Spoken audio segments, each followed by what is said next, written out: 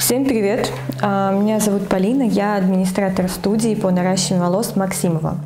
Сегодня хотелось бы поговорить о донорских волосах, а точнее о мифах, которые существуют про донорские волосы.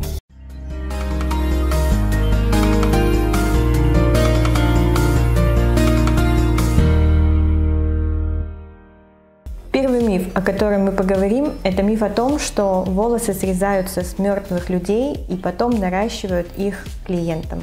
Это неправда. А, волосы мы скупаем по всей России и Беларуси. А, в большинстве случаев это Узбекистан, это Казахстан, а, в некоторых случаях это Якутия. У нас есть свой цех в Москве.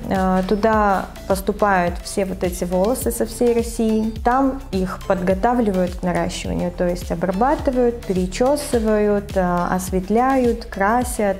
В общем, делают все, все процедуры для того, чтобы волосы были готовы к наращиванию. Также мы срезаем волосы в Беларуси, понятное дело, срезаем волосы, если это кто-то из Беларуси, мы срезаем их у нас в студии в основном, а, и каждому хвостику есть свое видео подтверждение. Миф второй. А, миф о том, что можно нарастить волосы, впоследствии чего заполучить в шею. Нет, это тоже неправда так как, да, в любом случае есть девушки, которые сдают свои волосы из-за того, что у них э, заводятся вши. А на этих хвостах могут оставаться гниды, но эти волосы поступают в наш цех в Москве. А в этом цеху э, волосы обрабатываются, волосы перечесываются, волосы осветляются, красятся. Также есть специальные машинки, которые гниды эти вычесывают.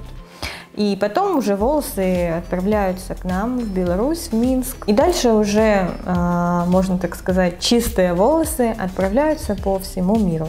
Еще один миф о том, что наращенные волосы будут отличаться от своих.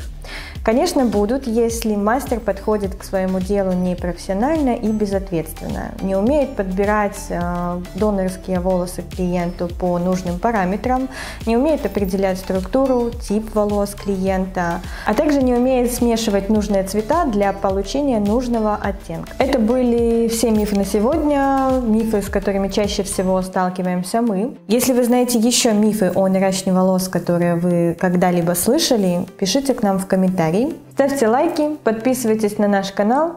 До новых встреч!